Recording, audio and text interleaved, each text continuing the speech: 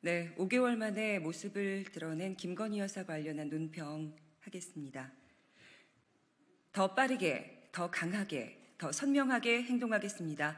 조국혁신당 대변인 강미정입니다. 김건희 여사가 먼저 가야 할 곳은 정상 오찬장이 아니라 검찰이다.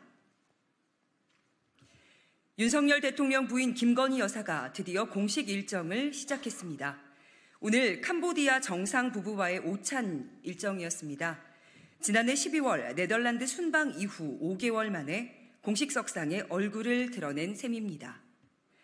대통령실은 캄보디아 정상 부부가 참석하는 만큼 김건희 여사가 정상 배우자로서 역할을 하게 될 것이라고 전했다는 언론 보도도 있습니다.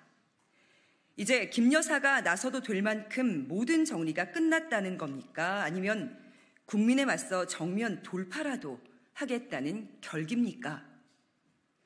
윤 대통령은 최근 취임 2주년 기자회견에서 김 여사의 디올백 수수와 관련하여 아내의 현명하지 못한 처신으로 국민께 걱정 끼친 부분에 대해 사과드리고 있습니다. 라는 표현으로 누가 사과하는지도 모를 묘한 발언을 했습니다. 이원석 검찰총장이 김 여사 관련 수사팀을 보강하고 수사의 속도를 내려고 하자 수사 책임자들을 모두 좌천성 승진 시켜버렸죠. 조만간 부장 차장 검사들도 모두 교체할 겁니다.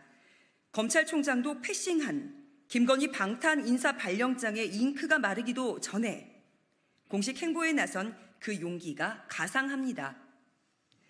그간의 행태를 보면 이제 친윤 언론들이 나설 것으로 보입니다. 윤 대통령 부부가 이번 정상회담 공식 행사를 시작으로 정면 돌파에 나섰다라고 말이죠.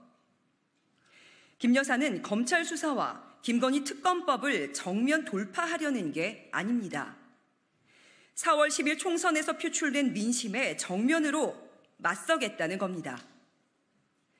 국민의 명령을 거부하고 민심에 맞서다 처참한 말로를 맞았던 전직 대통령의 사례는 윤 대통령 부부에겐 남일인가 봅니다. 조국 혁신당이 충고합니다. 순서가 틀렸습니다.